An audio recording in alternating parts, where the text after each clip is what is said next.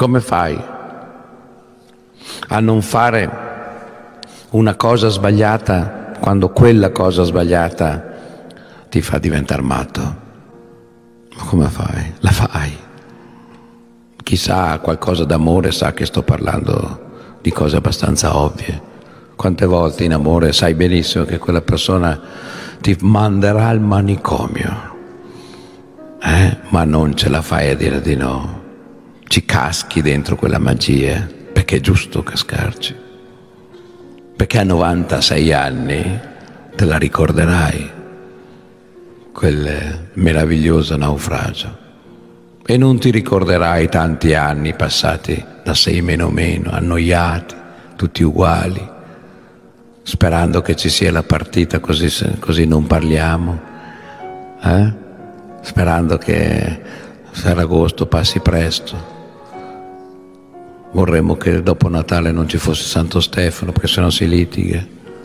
Eh? Quella vita un po' miserabile lì, quella vita che non vogliamo cambiare perché, come diceva Sant'Agostino, che era un extracomunitario, una volta gliel'ho detto a Salvini, eh, ho, ho, capito lo sconcerto, eh, non è di Varese, gli ho detto mi spiace, non è, Sant'Agostino non è di Varese, è africano ed era anche un genio.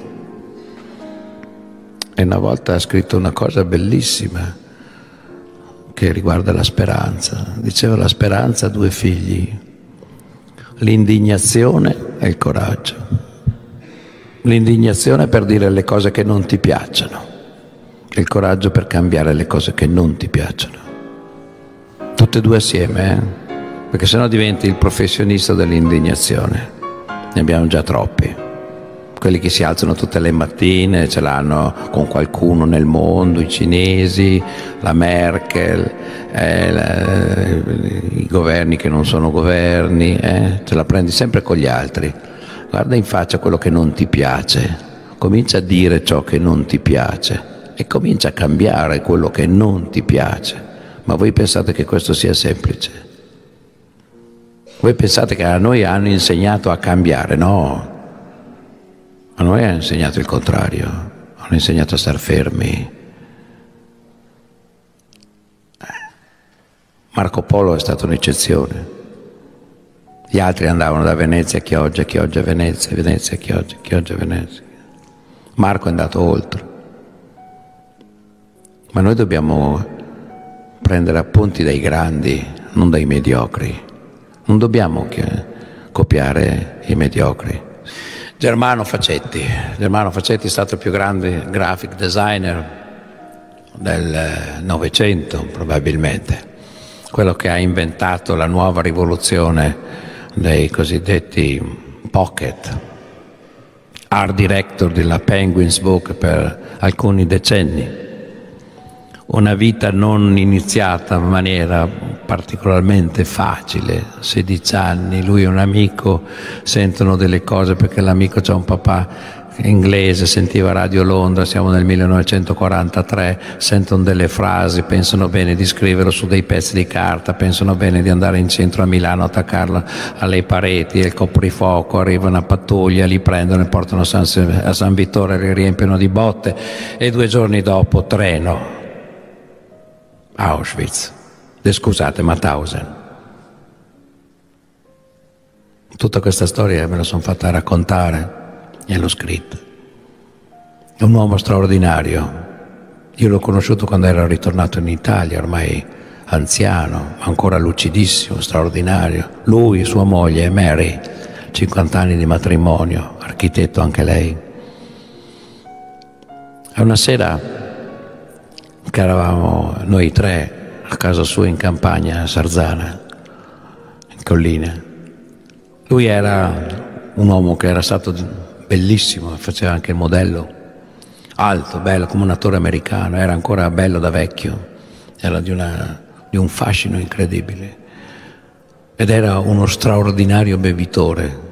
Lui non beveva goccetti, lui beveva fiaschi da due litri. E una volta l'aveva finito quella sera lì, si è alzato per prenderne un altro. e alzandosi ha dato le spalle alla sua signora da 50 anni e gli ho sentito dire scusami Maria, un'ora dopo davanti al fuoco. C'è qualcosa che non torna, gli dico. Che cosa?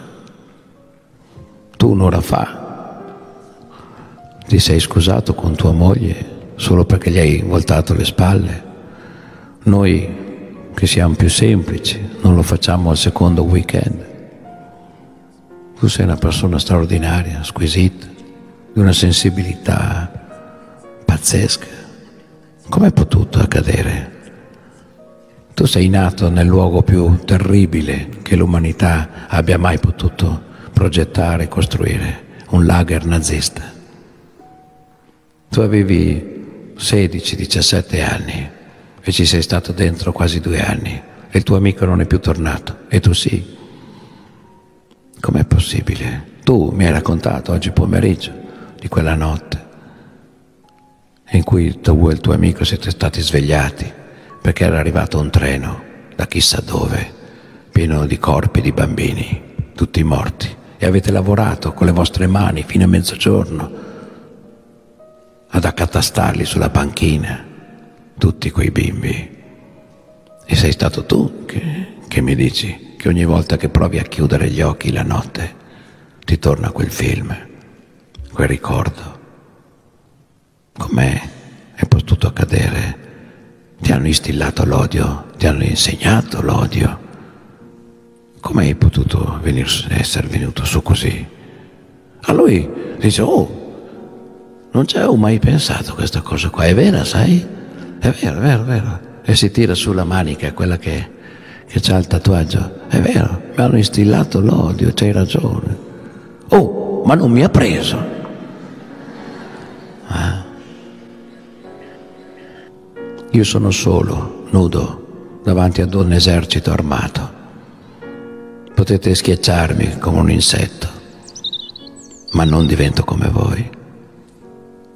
Non diventerò un nazista, non ucciderò i bambini. Io sono un poeta. Ecco cosa dobbiamo insegnare ai bambini, che esistono delle persone così, che ci hanno insegnato a vivere Date un bacio ai vostri figli, come diceva quel vecchio Papa. Mm? Fateli andare. Credete in loro. Sono forti, magnifici.